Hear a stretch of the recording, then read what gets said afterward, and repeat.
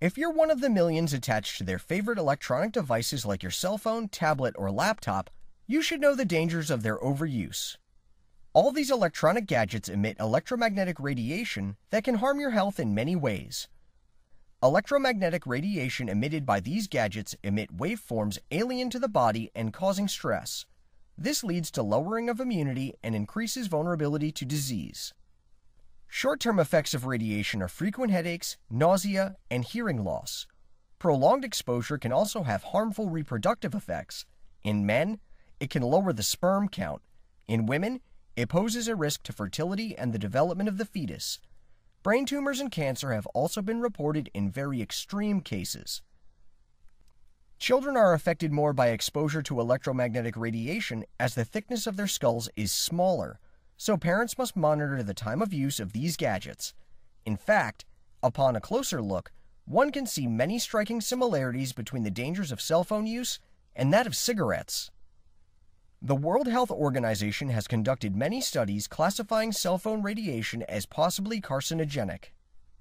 Everyone knows smoking cigarettes is bad for them, but it's time for better awareness and education on preventative measures when it comes to radiation from our electronic devices. You may be aware of the harmful effects of electromagnetic radiation from cell phones and other wireless devices. The good news is, a few simple practices can help you use your favorite devices safely. First, distance is key. Keep your cell phone as far away from your body as possible.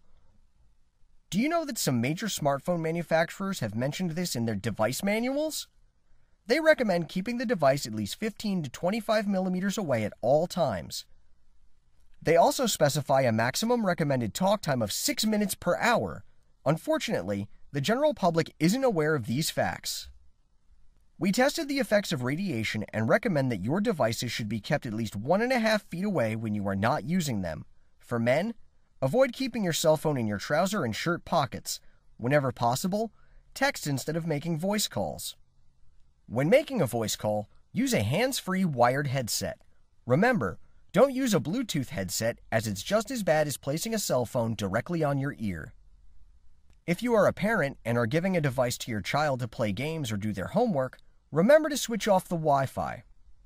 If for some reason you can't implement these suggestions, just fix an EnviroChip on your cell phone and other devices.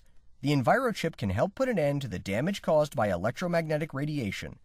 Visit envirochip.in today to learn how.